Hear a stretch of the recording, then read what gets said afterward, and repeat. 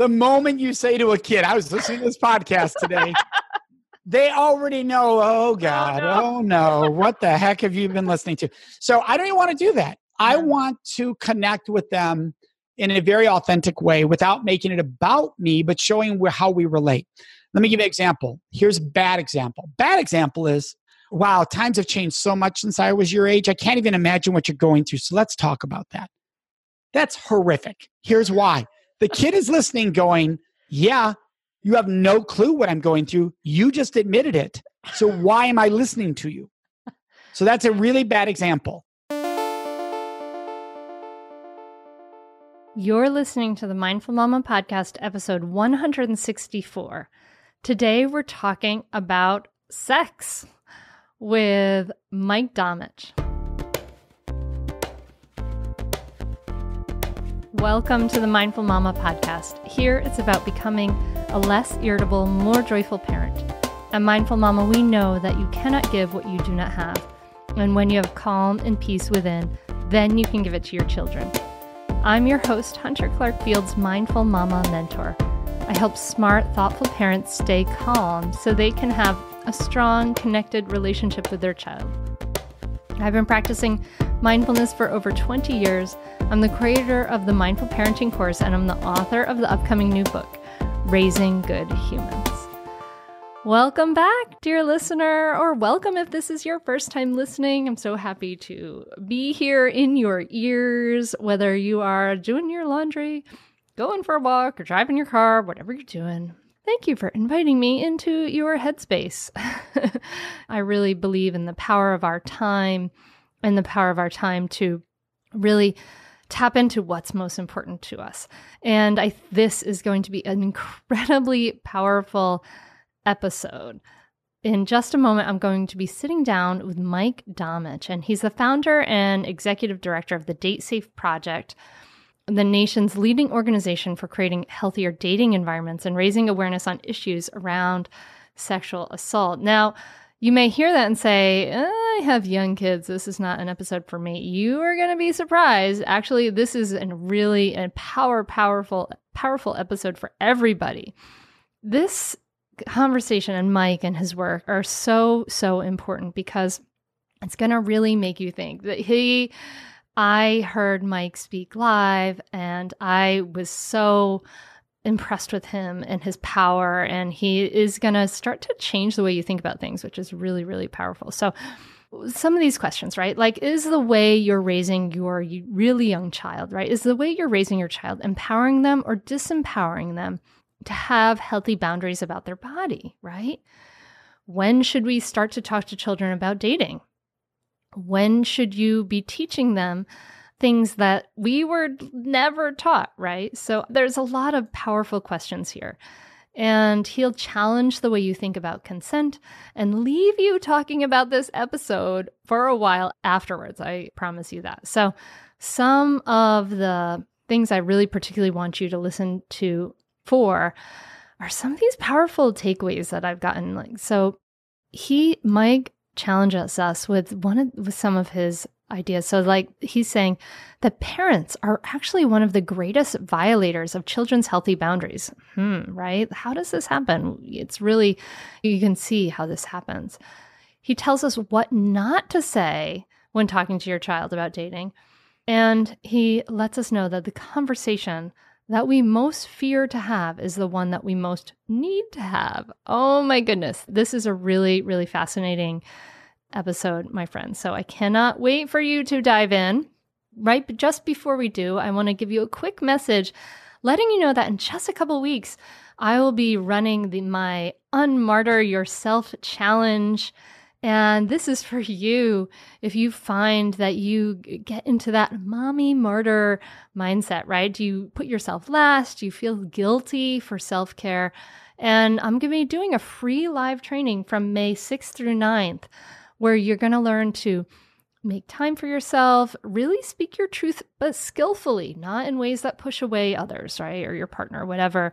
You're going to learn to destroy your mommy guilt and improve your relationships and thrive without ever being feeling selfish, right? So I love doing the Unmartyr Yourself challenge. It's a, a fabulous week. So I hope you'll join me. That is at mindfulmamamentor.com slash unmartyr. That's mindfulmamamentor.com slash unmartyr. So I hope you will join me for that. All right, now please join me at the table as I talk to Mike Domitrz. So, Mike Domitrz, am I saying your last name? Your last name is hard to pronounce. Am I saying it right? Well, yes. Well, the good news is if you don't look at it, it's super easy to pronounce. Just say Domish. Uh, but uh, but if you look at it, yeah, it's, a, it, it's a nightmare. you get confused. I'm so happy to have you on. I really love and respect your story. And I was riveted by Hear You Speak at Todd and Kathy Adams' conference. It was wonderful and it really made me think and really made me want to. I was like, oh my gosh, like my daughter is going into sixth grade. I like need to get Mike to my daughter's school and have him talk to them. This is amazing.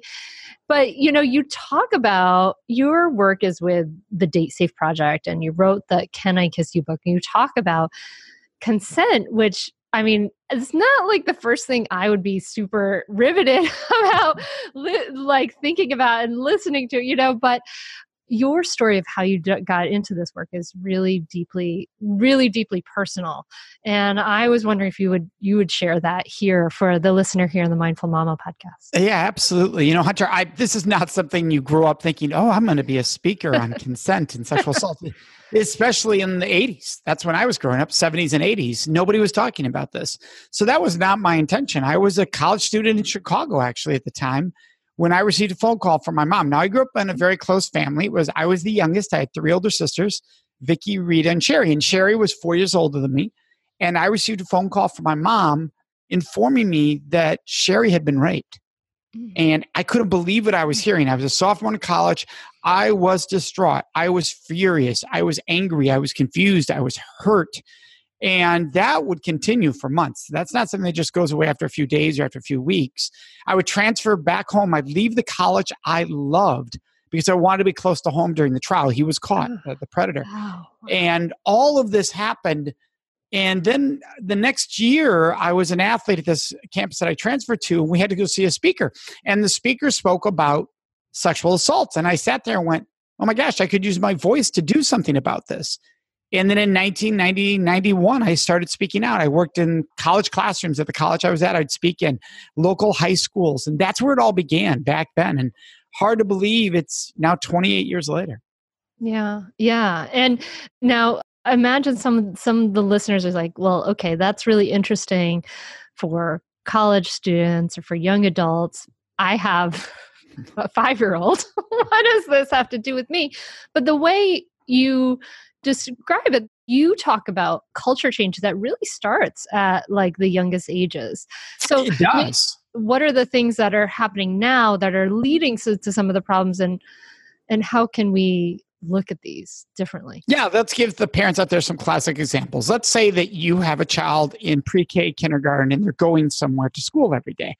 Uh, even in those grades they can start to hear about so and so like so and so and so and so sitting next to so that's starting in first grade. Oh my God, that's true. Actually, I used to hold hands with John John Almeida during nap time in kindergarten. I still remember. Right, right, right. And we all have that memory of that first crush or those kind of feelings, and and yeah, they're natural. We don't want anybody to think there's anything wrong with having those feelings as a child, but you start to formulate what it means to have boundaries, to like someone, to express how you like someone at those young ages.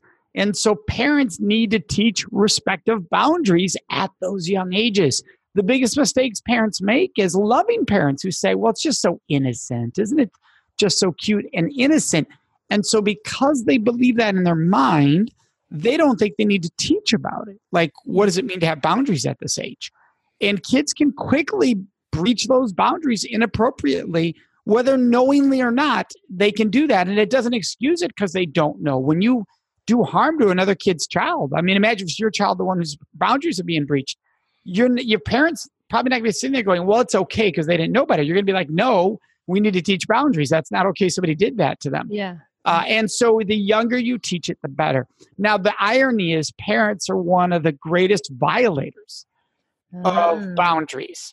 And that's the irony here. Like, I can walk up to parents and say, middle school parents, fifth grade parents, and say, hey, before anybody ever touched your kid, when they get to an age that it's appropriate to be intimate, whether it's kissing or something more advanced, do you hope your child's given a choice and the choice is respected? Every parent says, of course. Yeah. Of course, I want that for my child. Say, great. Do you give yourself, your child, a true choice on whether they can give you a hug or a kiss goodnight? Mm. And they're like, well, what do you mean? Well, do you give them a choice? Do you just kiss them goodnight? Or do you actually say, may I have a kiss goodnight? And they're like, well, I love them. I don't need to do that. I'm the parent. I have the right to do that. I go, whoa, whoa, whoa. I just, you just told me you want them to always have their boundaries respected. Why would you, the one who loves them, so quickly violate them? Yeah. And teach them that if I love you, you owe this to me. And yeah. if a child learns at a young age that non sexual intimacy, I owe it to you. Well, when they get into sexual intimacy, they're going to think I owe that to you if I love you. So if you say things like, you love me, that's why you should do this with me, I will subconsciously believe that because I learned that at a young age that if I loved you, I'd show some form of intimacy. Now we're at a stage where I think it's sexual intimacy. So we want to break that, that, that history we have of our culture of teaching children they give up their boundaries when they love someone. We want to break that and that cycle so that our kids can feel empowered to declare their boundaries and know it's okay to say no, mom, no, dad, I don't want to hug right now. I don't want to kiss right now.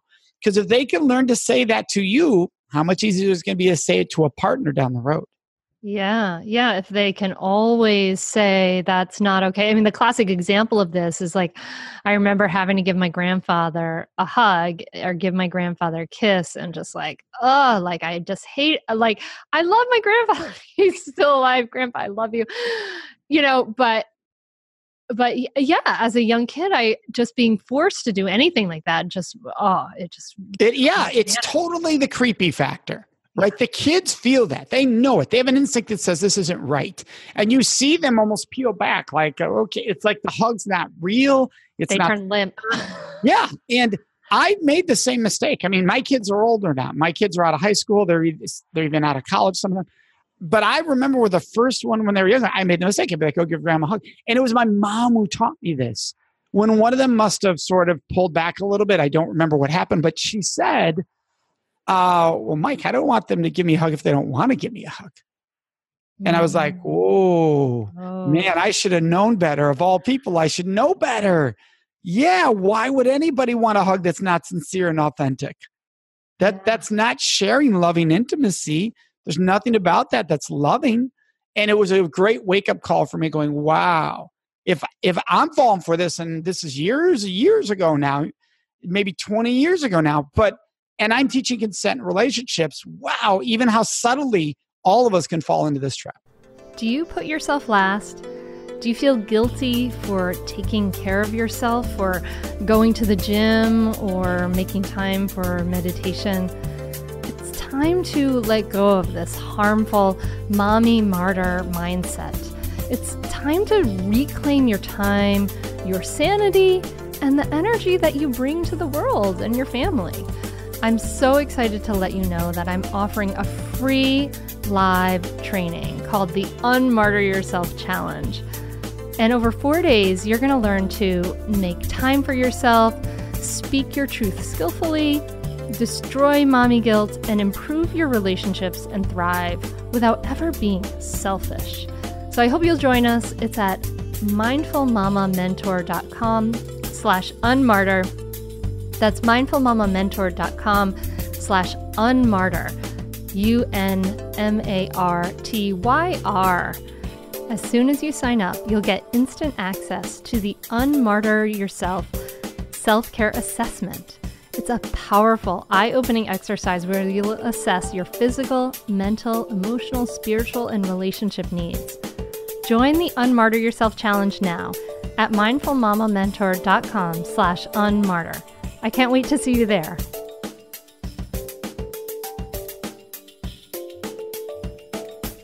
So, if I'm the parent of a five year old and I'm thinking, oh my gosh, like, how how far do we go back about this? Like, we will obviously want to teach them that they their body is their own and all those things. Like, but you know, say you have a pre-verbal child you know would you would you say like hey can i can i give you a kiss goodnight? You know that kind of like what would you say to them i'm just curious. Yeah so let's say that the key thing here is that when they're able to communicate right because if mm-hmm. they're not able to and you do want to show love and affection that's Yeah. part of showing connection and gaining connection to a child as an infant as a baby right those kind of situations you want that loving intimacy. When they have the ability to communicate when they know when they have a sense of their they're learning their their space and their boundaries then yeah you do want to be able to say can i give you a hug? Can i give you a kiss? Because the earlier the easier it is right? If it's just the norm that this is the way i grew up well then this is the way i deserve to be treated is just the norm.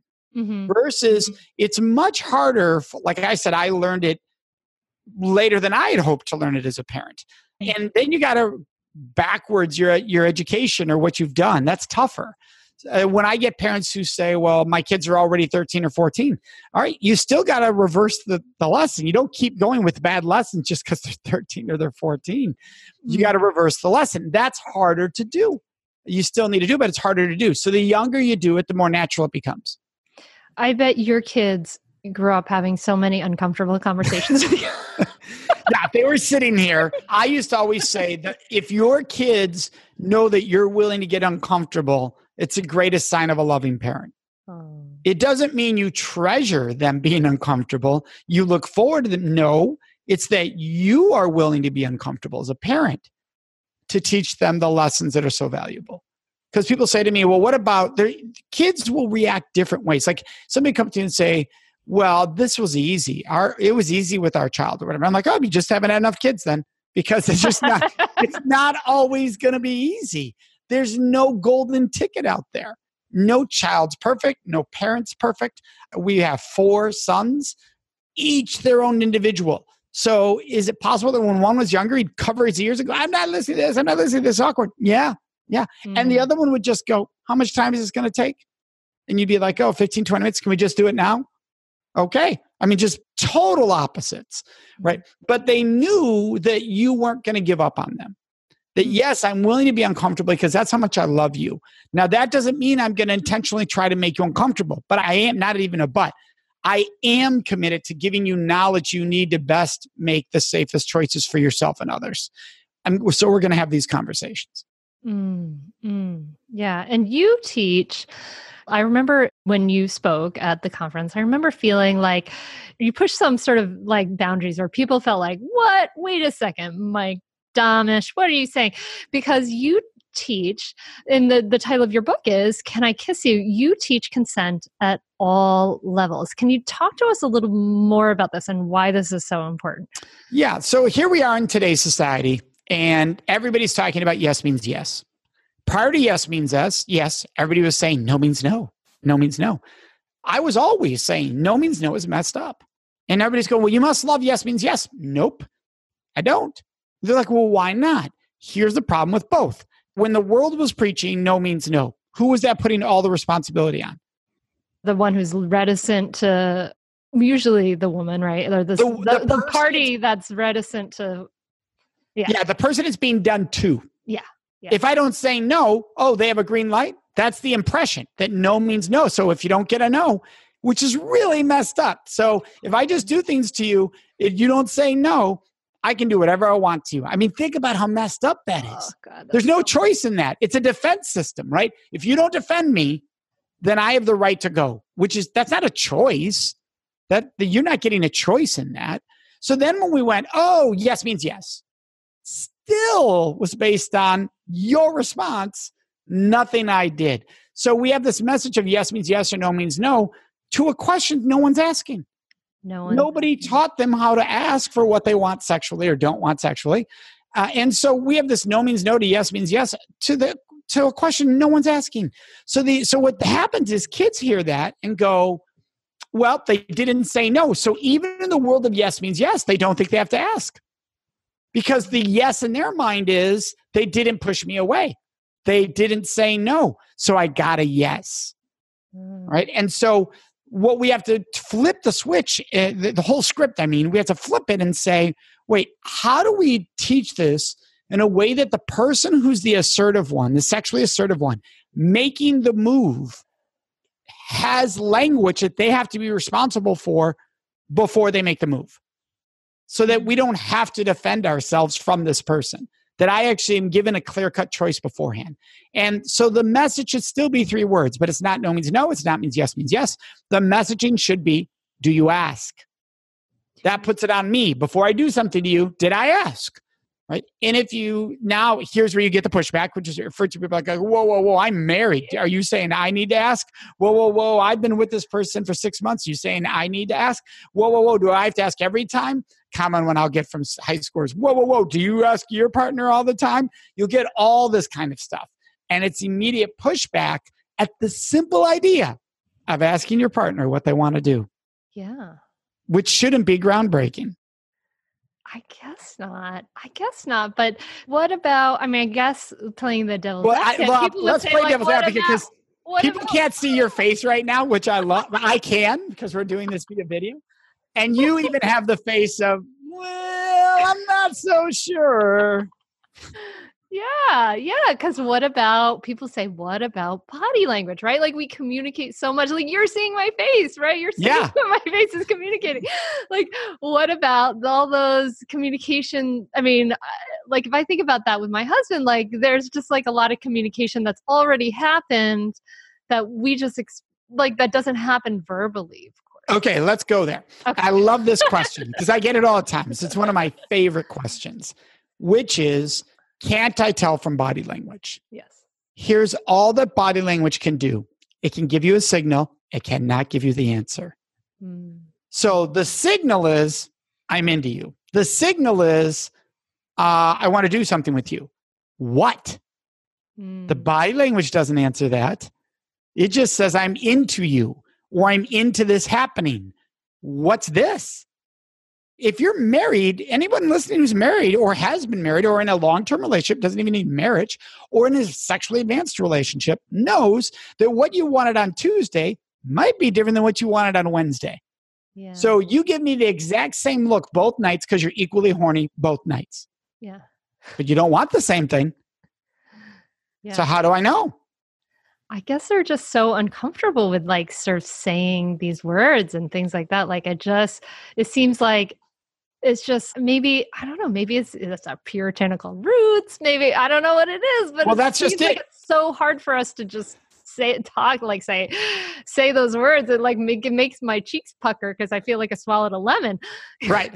Yeah, you're, you're getting a little red right now. Yes, exactly. So, but that here's the great thing about seeing that is you're able to right now in your mind say to yourself, wait a second, Hunter, why am I getting uncomfortable? You mentioned your partner, so you're married.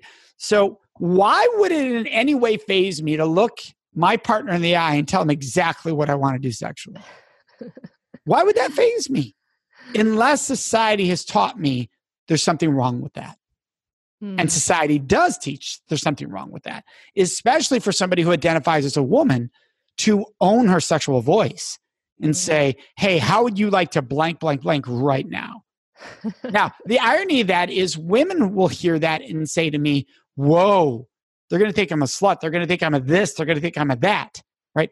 Partners of women will say, I'd freaking love that. Are you kidding? That'd be like the greatest thing ever. I would, that's, that's such a hot turn on. Oh my gosh. And when you're in front of audiences, I'm in front of thousand or 5,000. The response from partners is, oh my gosh, yes. Can we have more of that? Cut out the games, cut out that I'm supposed to know what you want. Just tell me. It's a turn on, it's sexy. But culture has said don't own your voice. There's there's something deviant about owning your voice. And this leads us all the way back to our kids thinking, I don't have the right to declare my boundaries. Mm. Right? It all starts at a young age. I'm not supposed to declare my boundaries. And so then as you get older, I'm not supposed to declare what I like either. I'm not supposed to talk about this stuff the more we talk about things, the less, the, I'm sorry, the less we talk, the less we teach to talk about sexual intimacy, the more shame we build around it. And ah. shame loves to thrive in the dark.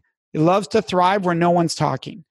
So, do you want to raise your kids in a, in a culture of shame and sex or in a culture that says sex should be this wonderful gift that is mutually experienced, and that's key language, that is mutually experienced with partners And for that to happen, it takes a lot to happen right. And that's the part parents freak out about. They go, well, wait, if I teach sex as this great gift, then my kids are going to be incentivized to have sex before they should. Not if you only if you only say that, like sex is a great thing, you got to go try it. If you only say that, yeah, you might totally mislead your child. Absolutely, into trying something before they're ready. Mm-hmm. But if you give them a full comprehensive education, now they have all the information to use when they're in those moments to realize I'm not ready because I do want it to be so amazing for all partners, for this to be mutual and wonderful. And because of all the knowledge I have in my head, I know that we're not at that place right now. Mm-hmm. Therefore, I need to slow down. And that's what happens when you give kids knowledge. They want to do the right thing. When we don't give them knowledge, they still want to do the right thing, but they don't know what it is.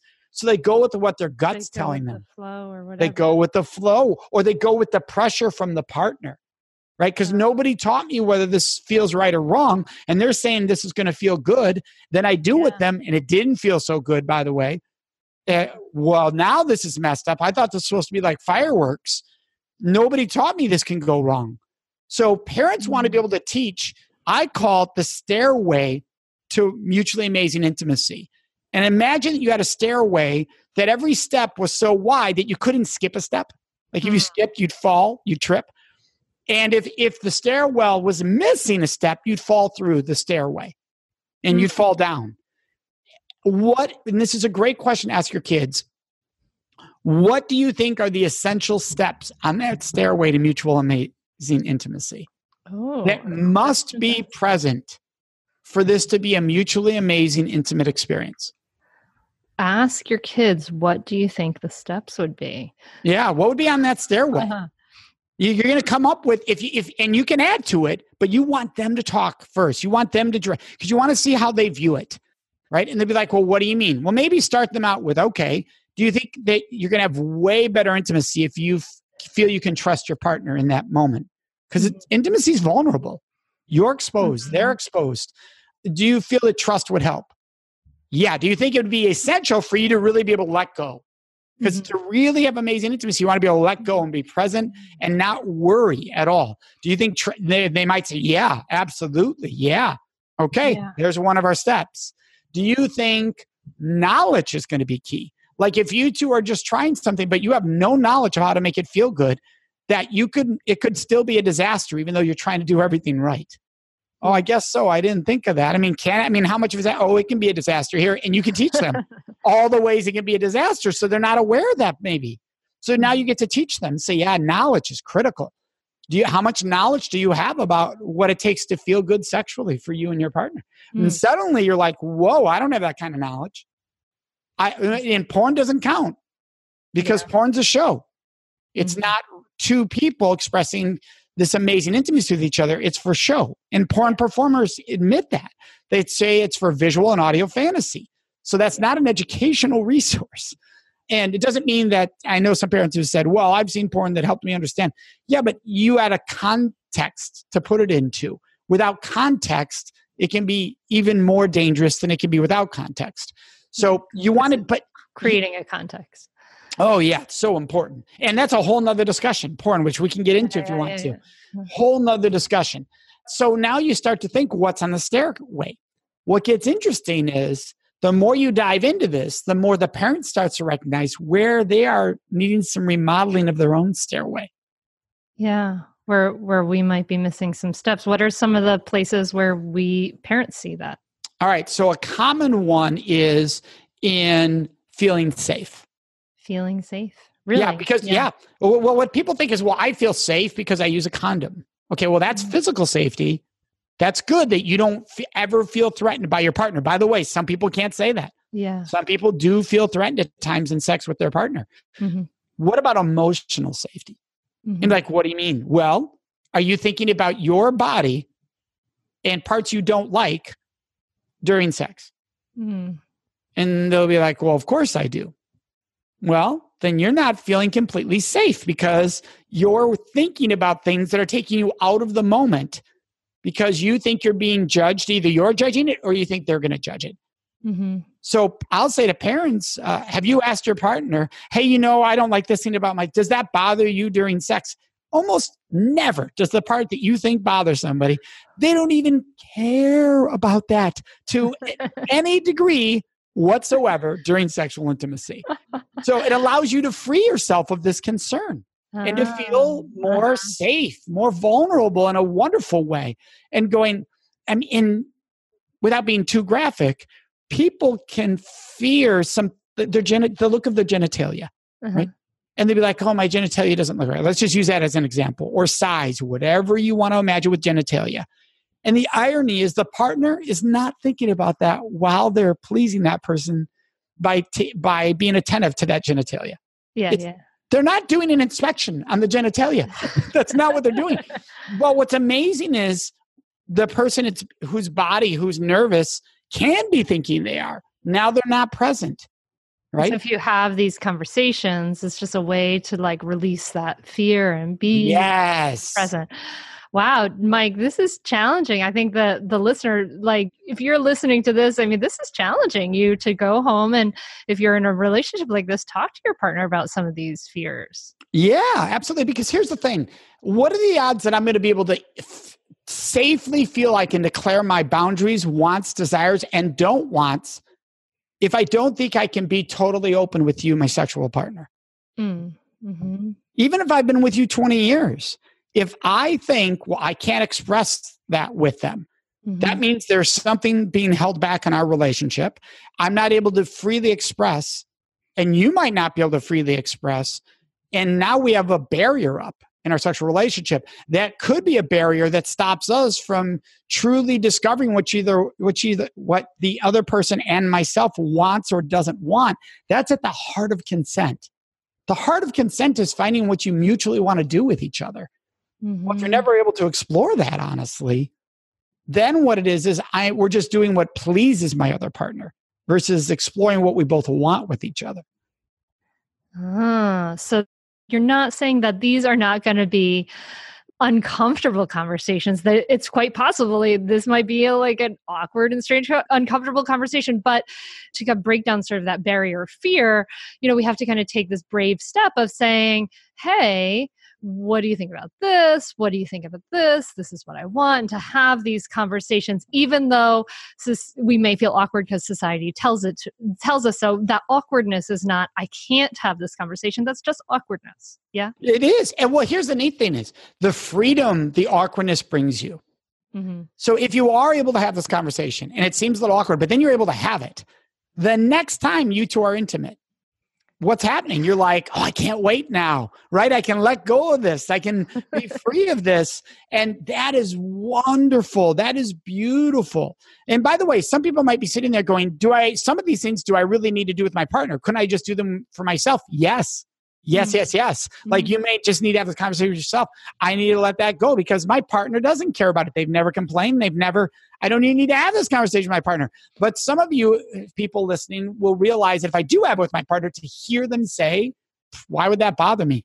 I would just like to hear that. It would just feel good. All right, then tell them I would love to hear you say. Like for me, it would be a big deal to know that doesn't that's not what you're thinking about. And they're like, no, I wouldn't. That doesn't faze me at all. Or I don't want you to bring that up. Like that would be that's going to turn me off.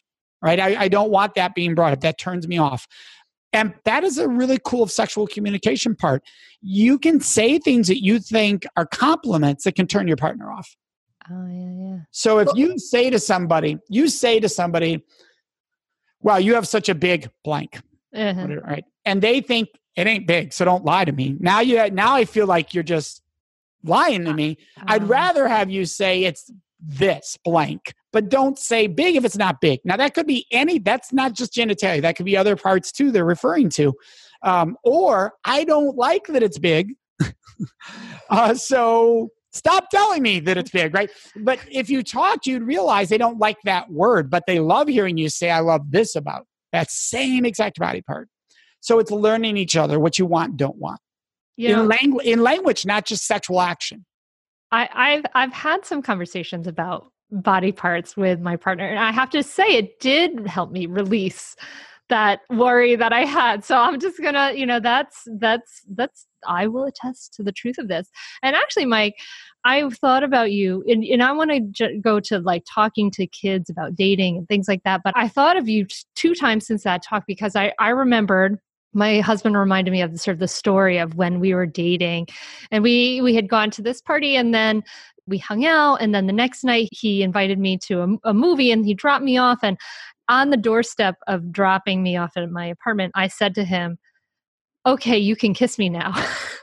I'm just out of the blue because we were standing there and I wanted him to know. I was kind of like, okay, when is it coming? Come on, let's. And he, we laugh at that now, and it's really kind of a fun story in our, but, but I was like, oh, kind of looking back at it through the lens of seeing your talk, I was like, oh, that was consent. It was like telling him consent. And then uh, the other story I thought of was well, hold on, I want to pause on that. Oh, yeah, yeah, yeah, Let's pause. Okay, yeah. Let's imagine that you had been given the skill set to ask. And it's saying, instead of saying, Oh, you can kiss me right now, which is like giving you the okay, instead yeah. looked him right in the eyes and said, I would love to kiss you right now. Can I kiss you? he would have been like, "Oh my god, this rocks! She is assertive. She is telling me what she wants." Versus he he heard, "Oh, I can kiss you now." Which is yeah. very different than I want you now. Right? When you look someone in the eyes and say, I would love to kiss you right now. Can I kiss you? That is a you want me, I want you. This feels mm-hmm. so good. And that's the difference in having the skill and nobody yeah. giving us a skill. Nobody giving this skill. Hey, why didn't you kiss me? Or you can kiss me now. Yeah. Give me the skill. I'd love to kiss you. That allows me to use my voice in, in a way that's fun and own what I'm feeling. And so you would say to like sort of parents of younger kids or, or, kids and younger adolescents or whatever kids who are starting to date that that is a, something that if they are wanting to kiss another person that they should they should add they should say can i kiss you now? Right? Absolutely. Here's the thing. So i was just i speak to middle schools and high schools. So i get mm-hmm. everything from 10 year olds you know a potential fifth grader mm-hmm. 11 years old all the way up to 18 year olds and let's be clear on a couple things parents need to think about it there. You should not be teaching middle schoolers that it is a green light to be experimenting with sexual intimacy in middle school. It's illegal. You're literally setting your kids up for sex crime violations in mm-hmm. almost every state in this country. Wow. Mm-hmm. In middle school ages. There are some exceptions, but in most states, that is illegal. So you want to be very, very careful of that. So, what we're talking about is when they are ready to be sexually intimate and able to give consent. Hmm. You ask middle schoolers or high schoolers the following question If you are incapable of talking to your partner about what you want to do with each other's body sexually and intimately, should you be engaging in the behavior? Mm-hmm. Almost every to a T child says, Well, of course not. So, when were you taught how to ask? Never. Never. So I've been taught don't ask, but I just know common sense by what Mike asked me. If I can't talk about it, I shouldn't do it. That's common sense. Mm. But nobody taught me how to do that. So I just use the same system over and over again that's messed up. Make my move until you stop me. Make my move until you stop me. Which if I keep saying that over and over again, anyone listening is going to sound you say you sound like a predator. Make my move until you stop me. Make my move until you stop me. Make my move until you stop me. Sounds so predatorial. And most people call that their relationships. Yeah, my partner makes their move until I stop them. Yeah, that's the norm. I mean, it when you when you lay it out like that, it really hits home how how you know sort of dangerous and messed up that is but it's but it's so normal and taken for granted almost it everywhere is. that it's, it, it's oh yeah. I was with fifth through eighth graders in montana mm-hmm. recently at a Catholic middle school, right? Because I love saying that because people be like, what were you doing in a Catholic middle school talking about intimacy, right? it's abstinence only. And you don't realize that if you eat, whether you believe in abstinence or comprehensive sex ed, for anyone listening right now, if you think I'm only going to teach my kids abstinence only, or I'm only going to teach my kids comprehensive sex ed, which by the way, that would include abstinence. Comprehensive sex ed is the A to Z. Abstinence only is more focused on abstinence only. Regardless of what view you think you're going to take, teaching boundaries is critically important because if you believe in abstinence only, you want to teach them how to declare their boundaries so that nobody violates, so they can feel safe with their boundaries. And they, when somebody might try to violate their boundaries, they feel empowered to say, no, you don't have the right to do that. Consent teaches all of this. So mm-hmm. it's vital no matter where you're coming from. So it's really important for parents to realize that. Uh, so when you're talking about this with fifth through eighth graders, and they recognize they're not at an age where they can consent yet, right? Mm-hmm. That also changes the conversation. Here's the question that parents will come up to me and say, and they'll push back on me. Look, my kid's dating someone in sixth grade. It's innocent, Mike. I don't see the problem with it. All right. I walk into the school, fifth through eighth grade kids. I say, parents tell me it's all innocent in middle school. Is it all innocent or they got it wrong? And whenever I've asked that question, in any middle school in this country, the students overwhelmingly say wrong. Mm. If we are dating somebody, it's because we are attracted to them in some sexual attraction way. Like we want to kiss them, we want to hold their hand, but we want physical intimacy. At least we think about it. Doesn't mean we want to do it yet. It doesn't mean we've thought about, but we want some intimacy in there. Now, by the way, I mean, we're not saying every kid. I don't want somebody to go, well, my kid, that doesn't fall. We're saying the majority of students say, I'm intrigued by that. All right, yeah. whether it's kissing or more. Now, what's amazing is every middle school also admits some kids are doing a whole lot more than kissing, mm-hmm. a whole lot more that they are experimenting with because they don't know better. So, or they're looking online and seeing pornography, and then they're trying to say, well, that looks normal. So I'll try to repeat that because that's the only norm I've seen. And they get these really unhealthy understandings of what they think is sexual intimacy that is mutual that's wonderful that's that sounds incredible and it looks like it feels incredible. And it's a really messed up understanding. So one thing parents really want to think about is look dating can be highly dangerous. It can also be one of the greatest experiences in life. It, you get to know yourself, you get to learn about others, and it can be joyful and wonderful, and it can be awful. We need to teach the we need to teach the full spectrum. Mm. And if we do that, then kids see, oh, it can be wonderful, but that takes these things to happen right. If you do it this way, they're not as scared of dating, but they're also aware while dating, right? And they're also aware of when they're ready and when they're not ready. So just because you find yourself attracted to Jordan over there doesn't mean you're ready to date because attraction is a normal, healthy thing that people have. It doesn't mean that I'm at a place in my life where I'm ready to date Jordan. Those are two very different discussions. And kids get that. I'll be like, look, how do you find out if you want to date Jordan? And they find out the same way we did. I have a friend find out, huh, or, yeah. or we pass notes. now the difference today is uh, we text, right? They'll do yeah. that. They'll add that but the notes is still popular. The going through friends is still popular. And I'll say, why are you doing these other sources? Because I'm not ready to talk to them. I'm not comfortable with that. And you want to date them? So, oh if, my God, you're you, so bringing me back. right. We all, I did it. I absolutely did it at those ages. I thought, oh, I want to date them and I want to, but I could never talk to them. I, I'm not ready. I think in fifth grade, I was like, quote unquote, going out with Nick McGinn, who talked to me through his cousin, you know, and he right. like, I don't know, like we went to a baseball game with his father. Anyway, you know, it was like, but yeah, if someone had explained to me, attraction doesn't mean you're ready to date and had said those words explicitly to me, I would have understood that. Yes, right. Because when you say it like that, it's common sense, right? And that's why yeah. kids get it. Like, oh, yeah, like you could be attracted to somebody in first grade. Does that mean you should be dating them? And they're like, well, of course not. Okay, so there's a big difference. Now, how do you know when you're ready to date? Oh, this is a mm, conversation they're almost never asked. Yeah. How do you know when you're ready to date? And that's a powerful discussion. Hmm how do you know when you're ready to date? Oh my gosh. I'm like kind of like the way you talk about it, I'm like, oh, I can't wait to talk to my daughters about this question. But yeah, I guess how I don't know. I mean, um Well, let's start with the one question that's important.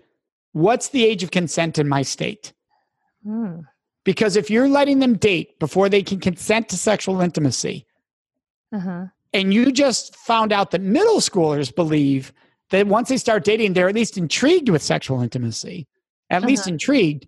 To think your kid's going to date and have none of that intrigue grow or uh-huh. become even deeper is probably not realistic. So, ideally, you don't want kids dating before they are able to say yes to sexual contact. Now, I'm not saying say yes to sex, but say yes to sexual contact because a lot of different things can add up to sexual contact. Uh, so we want to be clear that we don't want to put them in a legally dangerous or liable situation, especially with sex. That's not something we want to be doing nowadays. I mean, we never should have been doing it, but we're aware of it nowadays. That's a difference. So, is my kid legally able to consent? If they're mm-hmm. not, all right, let's teach them how to grow amazing friendships. Spend time with that person they're attracted to and get to know them better as a human being and build an amazing friendship so that when you are legally old enough, you can pursue that if you still want. Mm. Right? And they're like, well, you can't expect them to control themselves. Okay, time out, mom and dad. You just said your kid can't control themselves. And you now want them to date the person they can't control themselves around. so we got we have to pause and go, wait, if they can't control themselves, maybe that's one of the signs they're not ready. Yeah. yeah. If and one question I'll ask students, and we have this in Can I Kiss You, the book, we have this as an exercise, which is ask somebody their standards. Like, what's your standards on a first date? They'll be like, oh, I don't kiss on the first date. All right. What if they were like you were totally hot for them? And it was just going amazing. Okay, maybe maybe I'd kiss them then. Oh, all right. What if while you're kissing them, it's just hot, heavy, and amazing? It feels so good, and you feel so safe, and they now want to move their hands somewhere, and and you just oh, it feels incredible. Well, yeah. I mean, it's yeah. I mean, we're not going to go all the way, but yeah. Oh, see, what's happening is their standards are quickly changing based on real possible triggers and feedback they're getting. Mm-hmm. What most parents make the mistake of thinking is, oh, on a first date, what's your standard? The kid says, oh, I won't kiss on the first date. And the parent just goes, oh, awesome. See, that's a good boundary to have. Conversation done. done.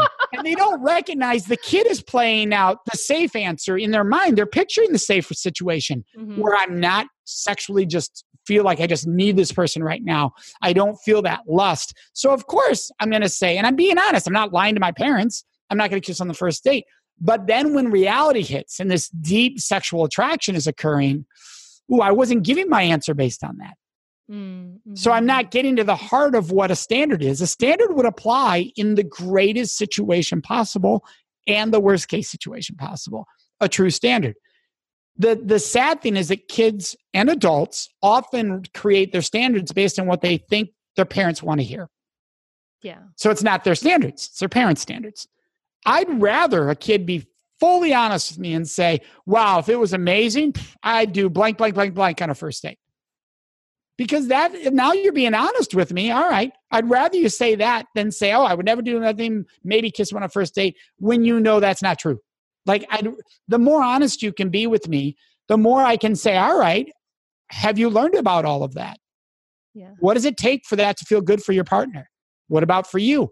How are you going to know if your partner's not in the mood for that or you're doing it and they don't like it? How are you going to know all of this? So they said yes, but it's not comfortable. Uh, how are you going to feel comfortable stopping something because you started it? You said yes, you wanted it. Maybe you even pursued it. And 30 seconds in, you're not liking it. How are you going to be able to say, whoa, whoa, whoa, this just isn't working? So even though I know I'm the one who asked for it, this isn't working, and not feel guilty because you have the right to stop it at any time. How are you going to what's the language you're going to use in those moments? Right? This is at the heart of everything and these are conversations very few parents are having. Oh yeah. I can imagine that barely any parents are having these right. and there are what's amazing is the ones who are having these conversations uh-huh. those kids have so much more of a toolbox loaded with confidence and understanding like i meet them i meet the college student who up to me and goes man the conversations my mom had were priceless, so detailed and graphic sometimes. But it armed me, it gave me the tools to be so much more equipped than my friends are right now. Yeah. And that's just it. I've never met the kid who said, Wow, my parents were graphic, they were this, but they were appropriate. And it's done me harm. I've never met the kid who said that. It's always they were appropriate, but they also gave me what I needed to hear. And I'm so grateful for that. That's all you hear. Now, that doesn't mean at the time the kid was grateful. Mm-hmm. It means that as the kid has developed, they are grateful that they were treated with that maturity. So, as our kids are start, sort of starting to get old enough to date, we need to be asking them, you know, about what dating should look like for them? How how would they like it to feel? Like what are the ages of consent? And then if you ask them some of these questions like how do you know you know what might you do? What are those standards you might do on the first date? We should be pushing pushing back a little bit on those standards and say well what if blah blah blah. So this this all implies like a level of connection and comfort level. That, well, that it, yeah it takes patience so the, the worst thing you can do as a parent, and I fall into this category, and I did this at times, is you get all this new information. And you think you have to run home now and blitz your kid with all the information. Now, strangely, your kid has lived 13 years, 60 days, and five hours without that information. And you think now that if they live one more hour without it, their life will not be the same. And so you have to just vomit this all over them instantly and they're not engaged, they're not listening, and this is a waste of time for everyone except you think you're doing good, and it's not doing good. So, what we have to think of as parents is where do I start this, mm. right? And little pieces at a time. Don't go into a two hour conversation. Don't go into a one hour conversation, for heaven's sakes. A five minute, and then a 10 minute, and then a 15 minute, right? Let these be naturally, even though it can be awkward, let them feel natural and so, let them progress where they belong. So the, maybe, the, mistake we can make is, oh, they're uh-huh. going on a date tonight. Now I have to overload them with all this information. Yeah, yeah, we don't want. That. So maybe just even going home, I listened to this podcast today, and you know, this guy was talking about how. I'm going to pause you know, right kids, there. The moment you say to a kid, "I was listening to this podcast today," they already know. Oh, oh God! Oh no. oh no! What the heck have you been listening to? So I don't even want to do that. I want to connect with them in a very authentic way without making it about me, but showing how we relate. Let me give you an example. Here's a bad example. Bad example is when I, wow, times have changed so much since I was your age. I can't even imagine what you're going through. So let's talk about that. That's horrific. Here's why. The kid is listening, going, yeah, you have no clue what I'm going through. You just admitted it. So why am I listening to you? So that's a really bad example. Okay. Really good example is hey, when I was your age, I knew a lot of people that were confused, that were experimenting, that had thoughts, that had questions, that were dating. And it led to all these questions, such as, and you give one. Hmm. Have you ever felt that way? Hmm. Now, that is more sincere. That is more natural. Now, notice I didn't do this either. When I was your age, I had all these thoughts I, I, I, I, do you. Hmm. Mm-hmm. Now that's also bad because it's all about you're living through me and you can't make the mistakes I made. And that's the impression. Or you can make the mistakes I made. And the kid feels like you're being way too open and then with your personal life yeah. and it's their life, not your not yours that they're living. Mm-hmm. And so you can actually do harm with that. Because I know parents will go, I share everything I ever did. Why? There's a difference in personal and private. There's a big difference in personal and private. Personal things you can share, private things should be private, right? And so, why are you doing that? Well, it helps them know I made mistakes. You could have just said I made mistakes. Like you, you didn't need to tell them the mistake. Because here's what a kid hears when you say, Look, I made those same mistakes and I don't want you to make them. The kid goes, Well, I'm here. So, how bad were your mistakes? Mm-hmm. It couldn't have been that bad. And they see you now greenlighting them to make all the same mistakes because clearly life's not that bad, right? It's the same thing we all did. Let's say you lived in a home where it was abstinence only and your parents said not till marriage. And the kid thought, what? Did you wait till marriage? You know, almost every kid who's taught that does think that. Because if you talk with kids, they'll tell you that. I've wondered, did my parents actually wait till marriage? Because if they didn't, why am I listening to them? Yeah right? And so they're looking for validation to make the same, in your words, mistakes, not your words, but those parents' words, mistakes. And you don't want to be giving them that validation, right? Yeah. Instead, you want to say, look, we're all going to have days where we don't follow our standards. We're all going to have days where we believe we made bad choices or we made mistakes. That's human. So I want to give you as many skill sets as possible to help you make the best choices possible, knowing you're not always going to make the right one because none of us do. But I don't need to tell you all the personal mistakes I made for that to happen. Oh my God, I'm so glad you shared all that. That's really, really so, so helpful, Mike. Um, this this is amazing. Everything you share. I do want to share the other time I thought about you is I, I recently read Michelle Obama's biography, Becoming. And did you, I don't know if you read it, but I have not read it, but people are like dinging me up going, yes. Mike, he asked, can I kiss you? Like literally the title of your book. and what's cool about that is I've been teaching this for about as long as they've been together. So, uh, yeah, there was no way that could have been planned, obviously. But yeah, I mean, we were thrilled to see that when people have told me. I've had people take a picture of the page of the book and send it to me as look what he did. He asked, Can I kiss you? So, oh. which obviously you can imagine we love. Another great reason to love Barack Obama from my camp. um, this, Mike, this has been so incredibly helpful. I feel like the when you you share this in such a down to earth real way you know where you you have this experience talking to kids you know you have this experience and and the way you present this it just I feel like every time I hear you talking about it, I am just it pushes back against the parts of me that wants to say stay comfortable and, and not have those conversations and, and say yes this is so so important and there are skillful ways to have these conversations and this is vital uh, for for all of us for for not only my kids but for the generation of kids that are coming. So i this thank you Oh well, thank you. I we used to tell parents, and I still do when I'm doing live sessions with parents at schools and communities. The the conversation you most fear having with your child is probably the one you most need to have. Yeah, it's just how you choose to have it. Now, there's that's everything. How you have these conversations is what ends up mattering. Not just that you have them. How? Am I coming with love, compassion, or am I lecturing? Am I leading with fear or love and compassion? There's a big difference there. Yeah. Yeah. So these questions I assume are uh, are in um can I kiss you? Yes. Uh, not everything we've discussed is, yeah, but yeah, a lot of yeah, absolutely. A lot of okay. this is in Can I Kiss You? We also have a DVD for parents called Help My My Teen is Dating. And there's a lot of this in there too. We have our own podcast called the Respect Podcast, which they can join also and listen to weekly. Now, that's not just parents, that's business. We talk about respecting business and schools, all different elements of that.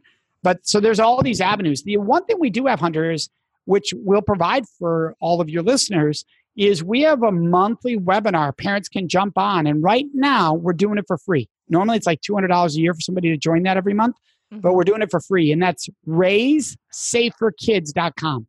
When you go there and you scroll down, you'll actually see that we have a free option for it right now. And they can they can use that free option until we we cut that off. So right now though it is still available. Okay, hopefully that will still be available when this podcast goes live. Yes.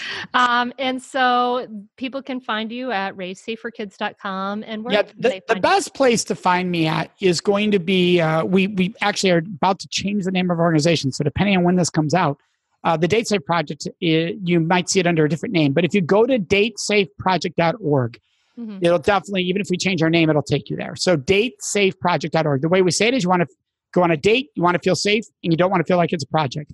DateSafeProject.org. Awesome. Awesome. Well, thank you. Thank you so very much. I really appreciate the work you do. I really feel like uh, you are a, living your dharma, right? Your calling to to do sacred work in this world, and and your work has rippled out into my life and and th- so many countless others, and is really making a huge impact. So I I just want to thank you. I, I, really, really appreciate it and appreciate you coming and sharing it with us. Well, I appreciate you, Hunter, and making this happen and providing this opportunity. I consider myself the word I use is like a portal. I think we all are. And so we gain insights from the work we do. And I, I'm blessed to be in a grateful, I should say, to be in an area that I love the work I do. And I just get to share it outward. And I love that. And you provided that opportunity. So thank you so much.